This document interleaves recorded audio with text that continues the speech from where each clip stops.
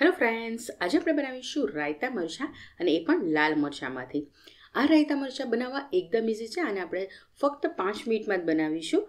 આજે ઇન્સ્ટન્ટ રાયતા મરચાં બનાવીશું. આમાં આપણે આથો લાવવાની કે કંઈ ઝંઝટ નથી રહેતી. અને આ રાયતા મરચાં એકદમ ટેસ્ટી બને છે. તો ચાલો આજે બનાવી લઈએ લાલ મરચાંના રાયતા મરચાં. તો એના માટે મેં અહીંયા પાંચસો ગ્રામ જેટલા લાલ મરચાં લીધા છે અને એને આપણે ધોઈ લેવાના છે. સરખી રીતે ધોઈ લીધા પછી આપણે એને લૂછી લેવાના છે. ધોઈને લૂછ્યાથી જે પાણીનો ભાગ હોય એ નીકળી જાય અને આને તમે આઠ દિવસ સુધી ફ્રીજમાં રાખી શકો છો, એ બગડશે નહીં.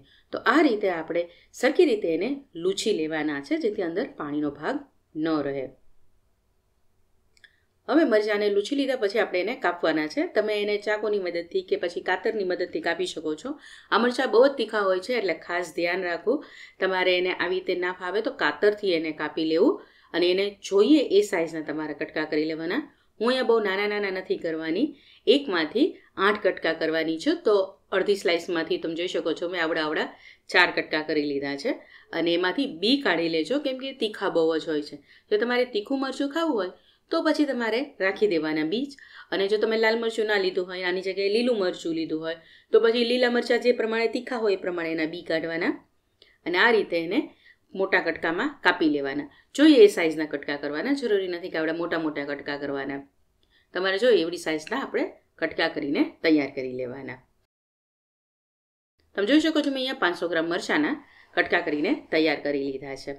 હવે આપણે એને વઘાર કરી લઈએ. તો વઘાર કરવા પેનમાં એક મોટી ચમચી જેટલું તેલ મૂકવાનું. તમે તેલ વગર પણ મરચાં બનાવી શકો છો. એની લિંક હું નીચે ડિસ્ક્રિપ્શન બોક્સમાં આપી દઈશ. ત્યાંથી તમે જોઈ શકો છો. હવે તેલ ગરમ થઈ જાય એટલે બે મોટી ચમચી રાઈના કુરિયા ઉમેરી દેવાના. સાથે એક મોટી ચમચી મેથીના કે પછી ધાણાના કુરિયા જે પણ તમારી પાસે હોય એ ઉમેરી દેવાના. અને એક નાની ચમચી મેથી ઉમેરી દેવાની. જે સૂકી મેથી આવે છે તે ઉમેરી દેવાની. અને આને આપણે ધીમા ગેસ ઉપર શેકી લેવાનું છે. અહીંયા વધારે એને શેકવાની જરૂર નથી. તેલ થોડું ગરમ થઈ જાય એટલે આને વઘાર કરી લેવાનો અને સુગંધ આવવા માંડે ત્યાં સુધી આપણે એને સ્લો ટુ મીડિયમ ફ્લેમ ઉપર શેકી લેવાનું છે. પછી એમાં અડધી નાની ચમચી હળદર ઉમેરી દેવાની અને હવે એમાં મીઠું ઉમેરી દેવાનું. તો મેં અહીંયા એક નાની ચમચી જેટલું મીઠું લીધું છે. રાયતા મરચાંમાં હંમેશા મીઠાનું પ્રમાણ થોડું વધારે જ હોય છે એટલે મેં થોડુંક વધારે જ લીધું છે. હવે આને મિક્સ કરી લેવાનું છે.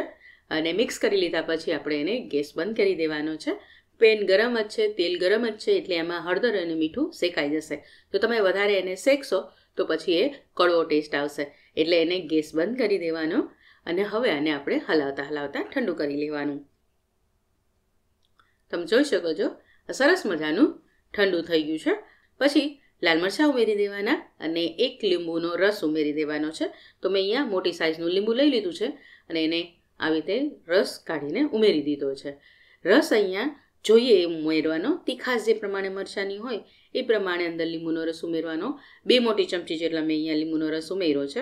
જો તમે અહીંયા એની જગ્યાએ ઓછા તીખા લીધા હોય મરચાં, તો એક ચમચી જેટલો લીંબુનો રસ ઉમેરશો ને, તો પણ ચાલશે. બસ આને આપણે મિક્સ કરી દેવાનું છે. અને ચારથી પાંચ કલાક સુધી એને રાખી દેવાનું. જેથી મરચાંમાંથી થોડુંક પાણી છૂટું પડશે. મીઠું આ સાથે મિક્સ થયું છે એટલે. અને લીંબુનો રસ અને રાયતા મરચાંમાં પણ થોડું થોડું પાણી અંદર ભરશે. એટલે એ પણ સરસ એનો ટેસ્ટ અંદર મરચાંમાં મિક્સ થતો જશે. એટલે આને આપણે ચાર કલાક સુધી રાખી દેવાનું અને પછી સર્વ કરી દેવાનું. આ રીતે ઇન્સ્ટન્ટ રાયતા મરચાં બનાવજો, ચોક્કસ તમને ટેસ્ટી લાગશે અને પછી કમેન્ટ કરીને કહેજો કે રેસીપી કેવી લાગી. રેસીપી સારી લાગી તો વિડીયોને લાઇક અને શેર કરી દેજો અને ચેનલને સબસ્ક્રાઇબ ના કરવું તો સબસ્ક્રાઇબ કરી લેજો અને ફોલો પણ જરૂરથી કરી દેજો ફેસબુકમાં તો તમે એન્જોય કરો આ રાયતા મરચાં. આપણે મળીશું નેક્સ્ટ રેસીપી સાથે. ત્યાં સુધી આવજો બાય બાય થેન્ક યુ જય શ્રી કૃષ્ણ.